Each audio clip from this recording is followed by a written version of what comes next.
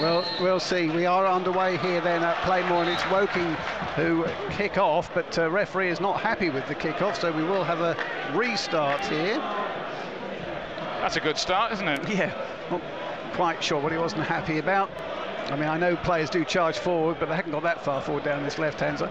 There's always a little bit of afters here involving uh, the two number 10s, Corey Andrews and uh, Padraig Amond. And Amond has brought down Andrews inside the uh, centre circle, inside the first second, I would say there. Andrews is back up. I don't suppose he's had a, all that polite an answer. Thrown is taken. Here's Gregor Cox on the edge of the uh, Torquay penalty area. Ball back to him. Shot fired in. It's only, well, I think it may have hit the outside of the post there. Yeah. Lovett flew away across to his right-hand side. I don't think he was anywhere close to getting it. Ince hit a left foot shot first time. And as you say, Alan, I don't think Rhys Lovett really sniffed that. Well, he scored after four minutes here in the uh, fixture last year, of course, Rohan Ince. And he was now almost on the score sheet again, talking with more defensive work to do. The visitors have started the better of the two sides as Casey lifts it in. Good header away at the uh, near post, helped further away. He recycled again, though.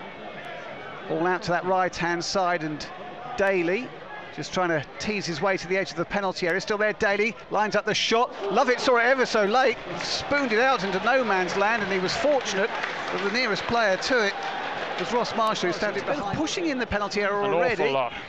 There comes the throw straight onto a Woking head, and would you believe it, they only left one man up, and that header finds that one man, Amond, who's perhaps not got the pace he used to have now. He lays it back, ball forward. Well dealt with by Hansen, helped out by Omar. Not the best of clearances from him, and it'll come out to this left-hand side, and Casey for Woking up to the edge of the penalty area, plays a quick one-two, and then Gregor Cox back to Casey again, who has to improvise, put it on his left foot when the right one seemed the obvious one. Here's Ince, nice skill, says Gregor Cox with the bender, and that's well saved down to his left-hand post by Rhys Lovett. Dave. That's two good saves that Lovett has now made. Um, spell.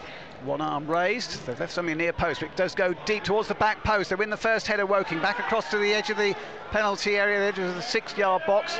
Then Torquay clear it away, but not very far. Lifted in towards the back stick again. And well claimed by Rhys Lovett, who I think has probably carried that one out of play. Yeah, he has. He did well to, to, to catch the cross under pressure on the money. And Marshall, over it comes. It's a good looking one towards the back post. Nodded away though by Woking. Hansen, that's a strange ball back. It will be okay for Crow. That's a strange header from Crow as well. And now the break can be on. Crow wins the foot race at the moment. R Rohan Ince is eating up the yards there. Well, the referee is certainly allowing a lot to go as the ball is hooked away eventually by Torkins. A handball in there as well. Ball put out of play. Uh, being given, some, some is being asked, but... Uh, this is Nita from uh, Torquay up towards the edge of the penalty. Up goes Goodwin. The ball bounced kindly down for him as well.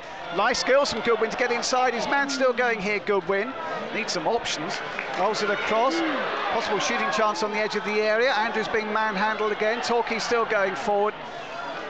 There's more willpower than anything else. How there's a player gone down there from Andrews. It wasn't. And it's cleared away into the midfield area where Anderson has a touch. And a good challenge coming in from Moxey. Ball breaks for Anderson. And some strange footwork there from uh, Rohan Ince, but he's got very lucky. And Woking breaking on the uh, Torquay backline. Can step over from Amond. Then the shot drilled in, and that's high over the top of the crossbar. And behind the corner eventually. One arm raised. Look at the near post flick on. It does carry an awful long way. Could be uh, chased down to the box though by Moxey. Lifted in once more by Casey. Lovely curling cross as well. Not the best of headers away. Shot fired in. Well cleared by Donnellan. And then that's a really good challenge coming in. A brave one as well there. It's uh, Wyatt who was just caught there as uh, Wilkinson prepared to take the shot. It was a really brave challenge coming in from Wyatt.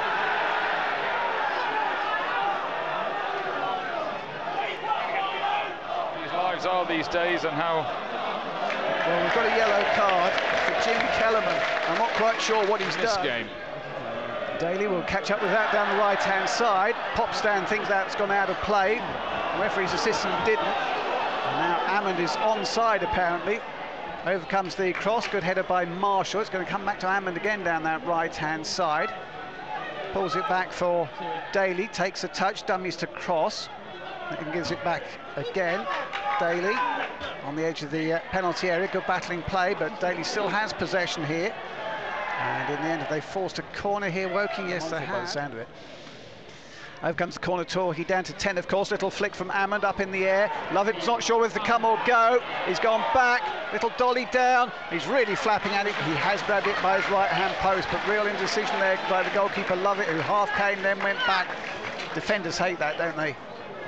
Well, I, th I think he made the decision just early enough to stop, in other words. Um, anyway, you're not seemed to lined up very strangely for this one, I must say. McGavin in, just too far in front, and then the referee's assistant has raised his flag. His flick hooked away by Kellerman onto the head of Ali Omar.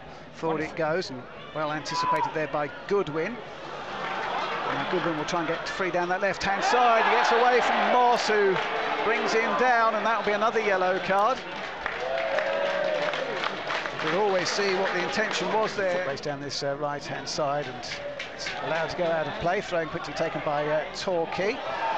But uh, Anderson was alive there and nicks in front of Crow, then plays a clever ball forward looking for Amond and good wins in the wrong place here. And then he uh, managed to regain his ground very quickly there. Crow. Crow inside now for Hanson. Should have got to Hanson about 10 seconds earlier though. Donlan, poor first touch from Donlan and he scythes down there. And that's going to be another booking this time for Daly. Or is he going to get away with it because he's a, a youngster uh, midfielder and he's been... No, he hasn't got away with it. Quite right, too. So, can United stay on side? That's the question, isn't it? That's the first question, anyway. Uh, they did. It's a very poor one. Ball drops, shot fired in high at the top of the crossbar. There goes the half-time whistle. Is that United's first shot? It probably is, isn't it? yeah, I, I, think it probably is. Uh, struck him off, but then the uh, ball inside is easily read, and back it goes to the goalkeeper. Lovett. Andrews uh, just in confrontation there with Wilkinson as the ball's lifted towards the edge of the Torquay penalty area, knocked away by Marsh. Not the best of clearances, possible shooting chance on the edge of the area here from Gregor Cox, who eventually does get his shot away. But it's over the top of the crossbar. Martin, Kieran Evans, Ollie Thompson, Nelson Isiguen. Uh, no goalkeeper on the bench with Mark Houston injured, so Asa Hall is on the bench, so we're told, for his goalkeeping ability. Now here's a chance for Andrews, he's in behind. Andrews! Oh, good save by the keeper.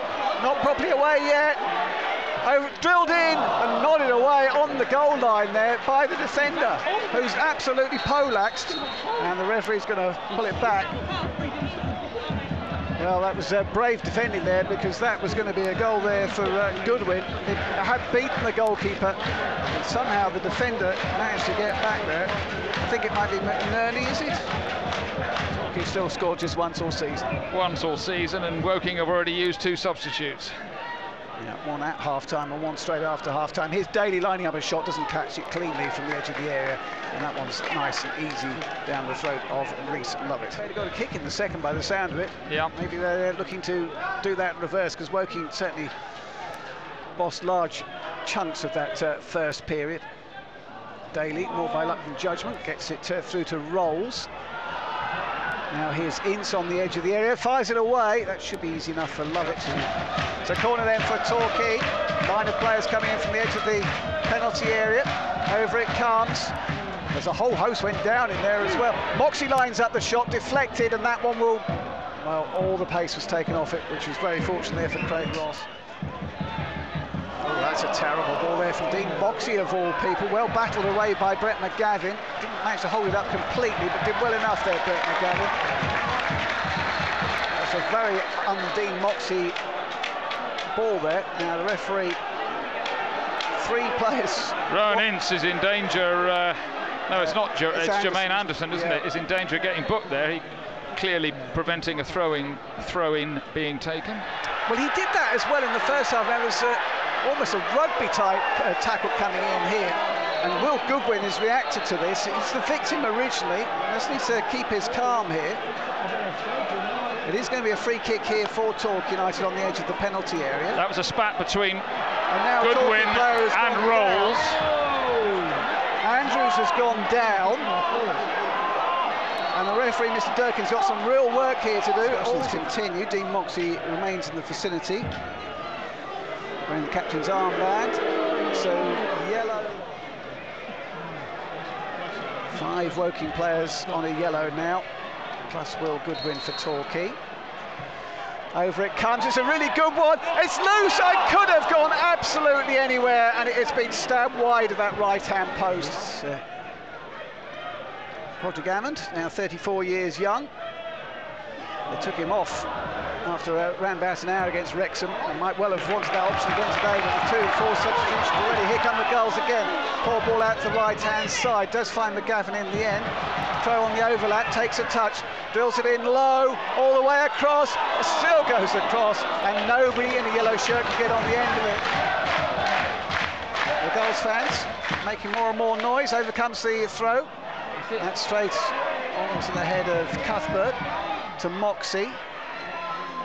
It's a clever ball. Can Omar keep this in? He can. Clever ball. Free header. 1 0. Torquay take the lead. Brilliant ball in from Ali Omar. Ali Omar, the winger. And Torquay United take the lead. Well, that was brilliant from Ali Omar. And in the end, it was a free header coming in. And it is. Torquay United 1, Woking nil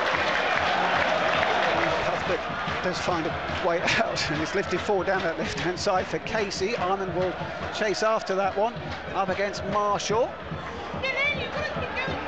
Crow, not very far away though. Here's a shooting chance. Gregor Cox for Ince, takes a touch, blasts it way over the top of the crossbar. Well, he used to be on Chelsea's foot, in front of his man to clear away towards the halfway line. Then McNerney puts into the path of Casey. Hans loses his footing, still hasn't regained it as the cross comes in. Lovett's back pedaling. That's a strange header coming in from Omar. Then the attempted chip from Padraig Amond doesn't manage to beat Moxey. Just do the simple thing. He, he, he, tried to make that much too complicated and ended up wrong option, kicking it out of play. It was a perfectly good pass on. Oh, now Anderson's got away from Moxey here. It's three against three momentarily. Here's Gregor Cox, and he's drilled it wide of that left-hand post. Apparently, there's a little touch there. Well, that was a great touch by Marshall then, if he got one. Because uh, that uh, shot by Gregor Cox combine was... here. McNerney's forward as well. Only one Woking player in the six-yard box. Lifted in towards that six-yard box. There's a free header, and it's in. Well, it's perfectly worked from a Woking point of view. And it's Torquay United 1, Woking 1.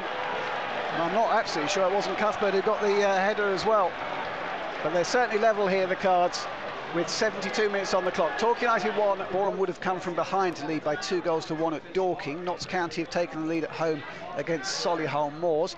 Halifax still lead by a goal to nil at Scunthorpe as uh, there's a chance here for Anderson. A wonderful save by Lovett. Still not properly aware, and then the follow-up is into the back of the net. They've scored twice in two minutes, and I think it might well be Daly again. Looks like it. Woking have turned this one absolutely on its head.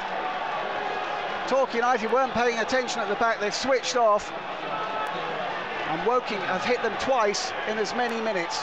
And I think it's a Daly with both. Torquay United 1, Woking 2. All came from United missing a header to start with. To play. Torquay United 1, Woking 2 here on BBC Radio Devon Sport. Here comes the long throw onto the head of Cuthbert. Ali Omar gives it back to Moxey. Moxey Drills it in low towards the near post, but that one's well read by McNerney. And then hooked away anywhere will do. Amond is the only player up the pitch, making life difficult. Crow wins his header. Here's Gregor Cox. Crow needs to get back up, ball inside. Here's Rolls completely through. Rolls to win it here. Rolls pokes to get past the keeper, and Woking put the game to bed. Jack Rolls there, beating Rhys Lovett. Torquay, unfortunate as much as they had a player down injured in the build-up to that one.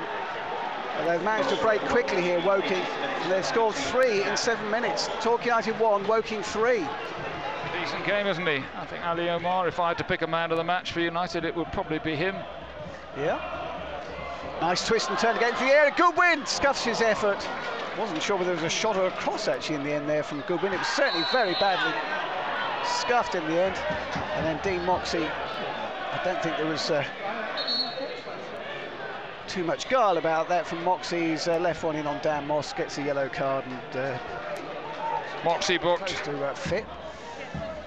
Over comes the uh, throw, straight onto a Woking head.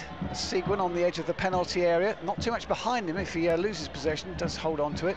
Martin needs to be very careful here, and Martin hasn't been careful now. There's three Woking men breaking forward. McGavin trying to get back here. And it's a powder puff effort from Kaboa straight at Rhys Lovett. Just on the pitch. Goodwin on that one. That one's going to go all the way through to Ross. Who will allow the ball to drop. And there goes the full-time whistle. And it's another defeat for Torquay United, a fourth in a row. They did manage to score. They took the lead in this one as well.